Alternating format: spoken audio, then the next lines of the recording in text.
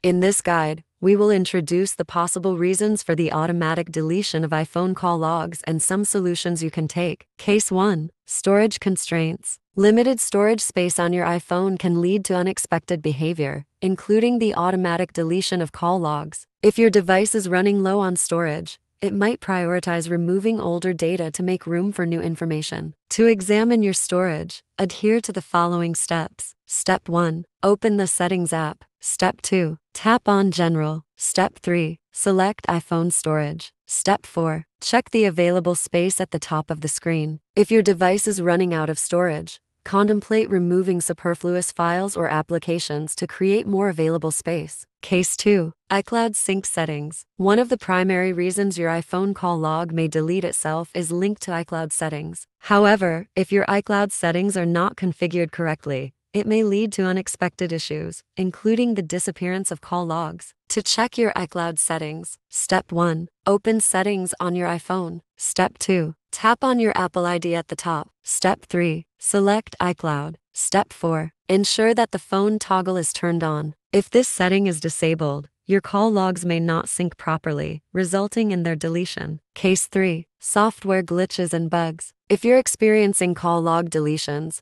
it could be due to a bug in your current iOS version. To check for updates, Step 1 Open Settings on your iPhone. Step 2 Go to General. Step 3 Tap on Software Update. If an update is available, install it and see if the problem persists. Updates often include bug fixes that could resolve issues with call logs. Case 4 Third party apps and security software. Certain third party apps or security software may interfere with the normal functioning of your iPhone, leading to the deletion of call logs. If you've recently installed a new app or security software, try disabling or uninstalling it to see if the problem persists.